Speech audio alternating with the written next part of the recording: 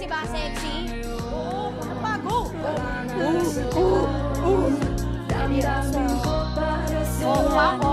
Oo, oo.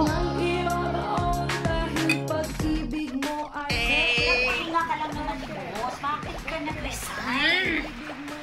Kanina ka pa, tama na yan, tama na yan. Nakikita na to ni Y. Hindi, okay Tama lang na. Okay lang. Didelete ko na siya sa FB list ko. Pati common friends. Wala na. Wala ako sa'yo. Oh, wow. Kami pa rin ito, no? Kami para na. Kami kami para sa mata. Pero bakit ang iba? Tila para bagong ka. Ang ikaw na nakita. Yana! Kaharap mo si Y. Anong gusto mong sabihin?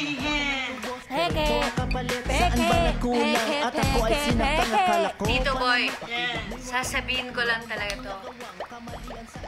Why? Why? Kapal na mukha mo. Pinagmukha mo akong tanga. Go! Let the anger flow, Yana. Go! Galit ako, Tito Boy. Ako yung legal wife. Pero ginawa mo akong spare tire.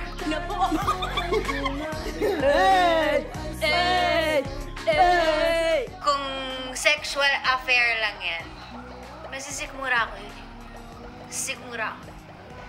Pero emotional affair, punyeta, may pag-ibig! Ang pag-ibig mo ay peke! Peke! Peke! Peke! Peke! Pag-ibig mo ay peke. Lagi nilang sinasabi na mabuti pa si Y. Mabuti pa si Y never ng babae. Si Y mabait. Pero alam mo, yun nga siguro yung problema.